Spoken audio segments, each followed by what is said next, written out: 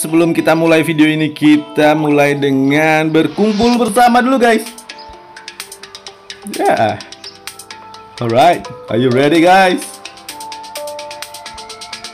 Anjing kita party di siang bolong guys.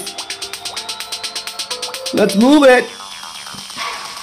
Right, right, right. If you want to know the location of every fish, creatures and trash and creatures of the deep, just go to my playlist in my channel and you will find all of the location there. Good luck my friends!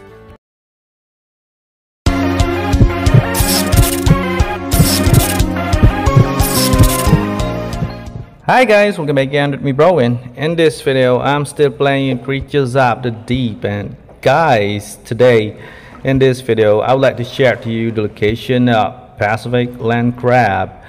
I just forgot to share this information to my friend who needed. It. I will share this and put this video in my playlist of creatures in Costa Rica. So you who not know about this information will find it easily alright let's go. We trying to find this Pacific land crab in the location that I know guys. Actually there are a lot of locations for these creatures but one of it is right here. If I'm not gonna mistaken it was here. I found it mostly here. I don't know. Let me try to find it until I will get it guys. Alright so good luck to catching it and have a great day and night to catch this Pacific land crab in this location and I believe I will find it here. Good luck my friends